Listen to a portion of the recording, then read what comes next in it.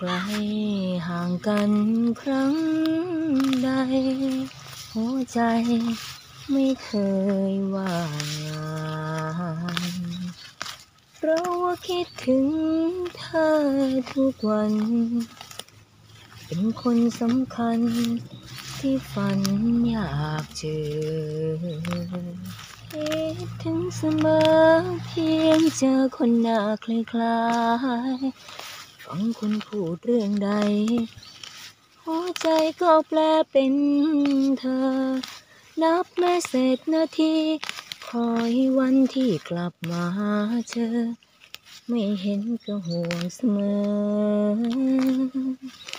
ถามถึงเธอในใจยามเหงาดดูหรือยังข้อความมือถือส่งไป เสื้อยืดของขวัญปีใหม่ ลองใส่ดูบ้างหรือเปล่าห่วงตัวเองมั่งนะ งานหนักก็พักสักคราววันใดที่ใจสุดเหงาฝากดาวบอกว่าคิดถึงดูดีนั่นแล้วใหญ่ดูดี ดูดีขมัน ฝนย่างามเต็มพืชแต่พืออีกแล้ว คืนก่อนนะไม่ใช่เมื่อคืน ฝนตกยังกับฟ้ารั่ว เมื่อคืนนี้ฝนไม่ตก ก็เลยต้องรีบมาเคลียร์หลังบ้าน ให้เสร็จให้สิ้นภายในสัปดาห์นี้จะเสร็จหรือเปล่า หญ้ารกๆก็ชำระสาสางไปเกือบหมดละเหลือแต่หญ้าพวกน้อยๆนี่ไม่สูงมากที่เกิดขึ้นมาใหม่นะรีบทำหลังบ้านให้เสร็จแล้วก็เดี๋ยวไปเคลียร์หน้าบ้าน คืนพื้นที่ให้คุณพ่อบ้านเขา Okay. จากสวนป่าดงดิบรกๆของเราก็พยายามจะให้กลับมาเป็นสนามหญ้าโล่งๆ ให้คุณพ่อบ้านคนเราก็ชอบไม่เหมือนกันเนาะแม่บ้านก็บ้าปลูกต้นไม้ ปลูกไปปลูกมาก็รกจนจะเป็นป่าดงดิบหรือหน้าฝนเนี่ยยังทำไม่ทันนะทั้งจ้างทั้งทำเองก็ไม่ทันอยู่ดีก็เลยค่อย ๆทำไป นี่คุณพ่อบ้านก็เริ่มบ่นแล้วว่ามันชักจะรกไปกันใหญ่เลยนะ ยิ่งเจองูเห่า เข้าไปกรงหมาไปกัดเจ้าอูชิโร่นะ แกก็ยิ่งหาข้อมูลสนับสนุนนะว่ามันรกเกินไปแล้วโดยเฉพาะฝั่งนี้เนี่ยฝั่งนี้ มันเป็นป่าดงดิบชัดๆนะ เพราะว่าเขาเขาถางหญ้าเคลียร์พื้นที่แค่ปีละครั้งนะคุณผู้ชมคิดดู ปีละครั้งอยู่ตรงนั้นแหละมันโซนนั่นแหละเพราะว่าเขาจะอาจจะเลื้อยข้ามกำแพงเรามานะ ทีนี้บ้านหมามันก็อยู่โซนติดกำแพงเลย ด้านหน้านะ เจอจังๆงูเห่าตัวเบ้อเริ่มเลยวันนั้นเนี่ยโอ้ยเจ้าโอชิโร่ก็โชว์ออฟนะสู้กับงูเห่า ก็ฟาดเคราะห์ไป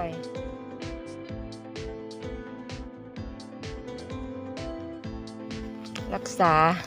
ให้เซรุ่มฉีดยาทำแผล สามสี่วันมานี่ก็ทำแผลเองนะ เพราะว่าเขาเริ่มแอคทีฟเขาเขาจะดื้อมากโอชิโร่เนี่ยเวลาเราพาขับรถไปหาสัตวแพทย์เนี่ยมันพ่อบ้านก็บอกว่าเออเธอระวังอุบัติเหตุนะ คือเขาจะดื้อเราต้องแบบมือหนึ่งเนี่ยต้องห้ามเขา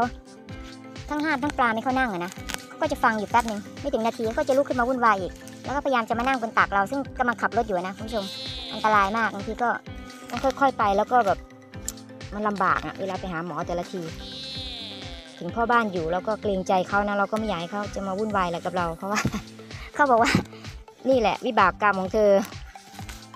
อยากจะรับเลี้ยงดูแลหมาก็ต้องแบบความรับผิดชอบมีความยากลำบากขึ้นแต่ว่านี่แหละหมายทั้งปวง เราก็ต้องรับผิดชอบชีวิตเขาไปจนกว่าจะลาจากกันในวันสุดท้ายนั่นแหละ ก็เลยซื้ออุปกรณ์มาทำแผลเองนะหลังๆ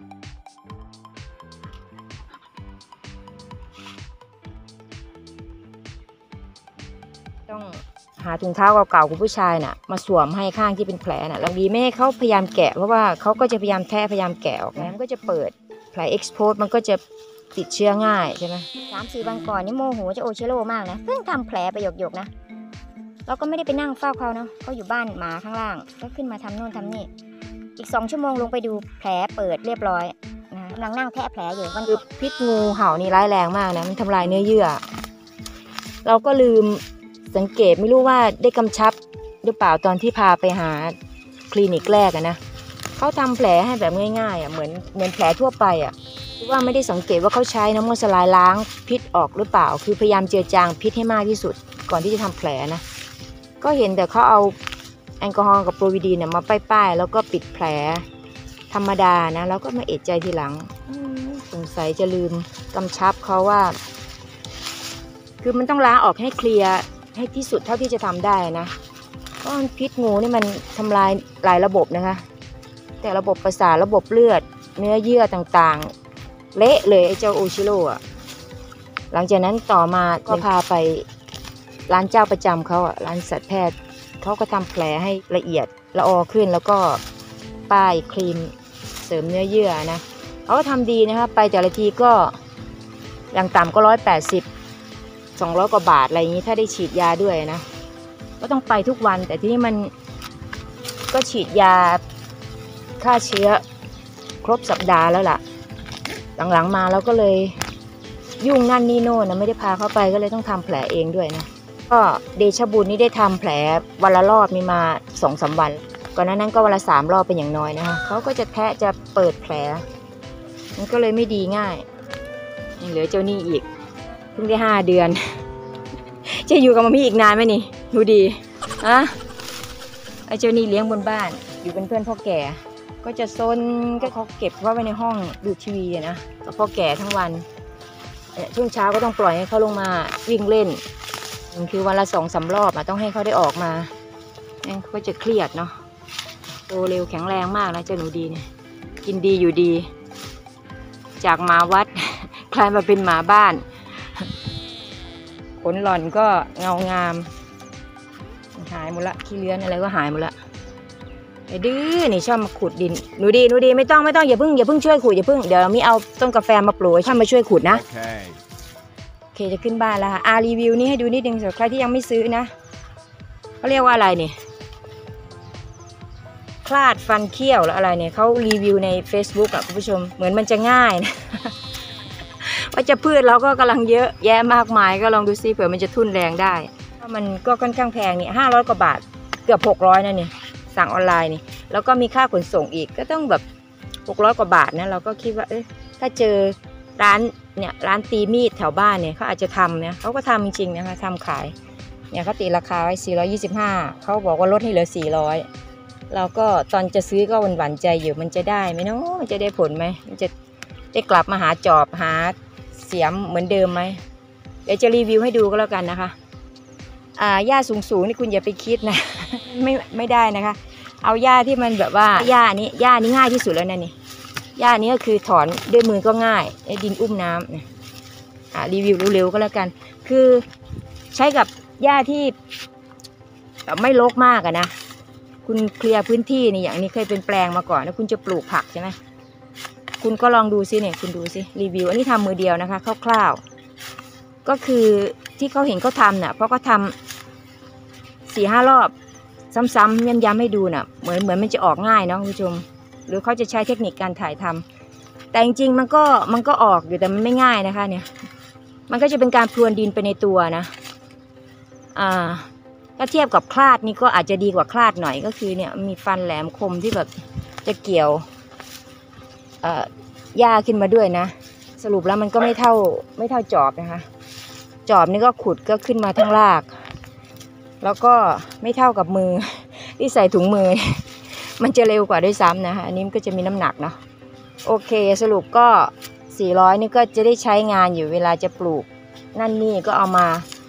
คลาดมาปรับดินนะคะ มาพรวนดินอะไรเงี้ยนะ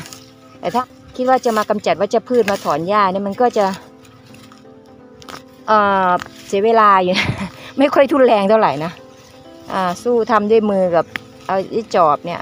สับๆออกไม่ได้นะออกทั้งรากทั้งโคนโอเคก็มารีวิวให้ดูสำหรับใครที่ยังไม่ซื้อแล้วคิดว่าจะไปซื้อมาใช้นะคะ ก็ลองใช้วิจารณญาณดูนะ เพราะว่ามาพรวนดินมาเตรียมแปลงสำหรับที่จะปลูกผักปลูกได้อยู่นะคะ แต่ถ้ามากำจัดวัชพืชอะไรเนี่ยมัน มันก็ไม่ค่อย work มันไม่ทุ่นแรงหรอกมัน นี่ยโอเค แต่ว่าไหนๆก็ได้ซื้อมาแล้วก็จะเก็บไว้ใช้ประโยชน์อย่างอื่น โอเค คลิปยาวแล้วหนูดีไปไปขึ้นบ้านลูกไปวิโก้โอเคนะคะ ขอให้มีวันที่ดีนะ สู้ต่อไปดูแลสุขภาพกันด้วย นี่ลาแล้ว บ๊ายบาย Okay.